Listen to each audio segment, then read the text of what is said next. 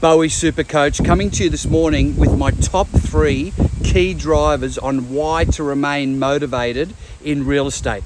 Number one is being on purpose, and this includes ensuring that when you are at a listing appointment, an open for inspection, a buyer appointment, or even prospecting and nurturing clients, that that feels like exactly what you should be doing at that particular stage in your life.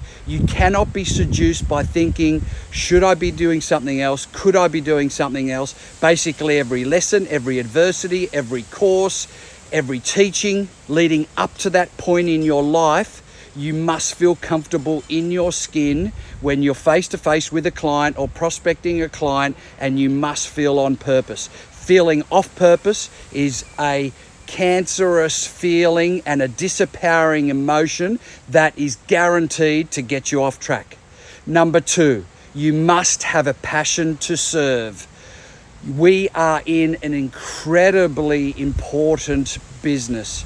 We are dealing with people's livelihoods, with their highest and most expensive asset when we're representing clients, and also we're facilitating transactions for buyers that is the most important activity occurring in that particular area of their life and that particular timing of their life.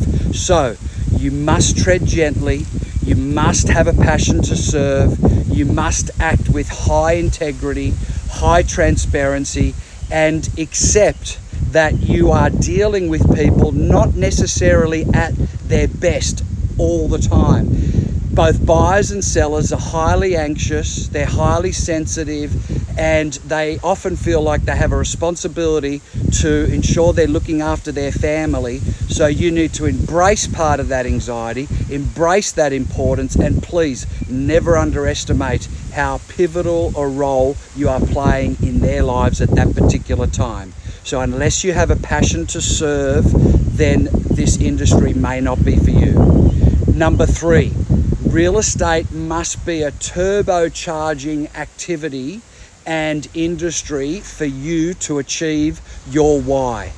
Now, your why is an end based goal. What I mean by that is you usually have a GCI target or a number of sales target. However, what are the activities and the means based goals that are going to get you to that? Now, your why could be sending your kids to private school, it could be going on holidays once a year, it could be buying a better house, buying a better car. Some are material and some are not so material. However, we would be naive to think that remuneration is not a motivator in real estate and not a key driver. We have selected an industry where there's an unlimited potential around what you could earn.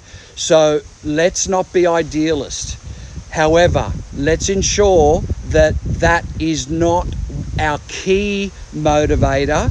It's only one of the motivators.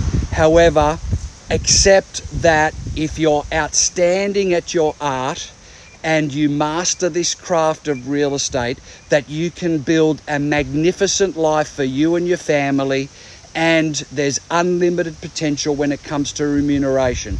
I just hope that your end based goal on what to do with that remuneration is dealt with humility, integrity, transparency, because let me tell you, it's not about the ones and zeros on a computer screen.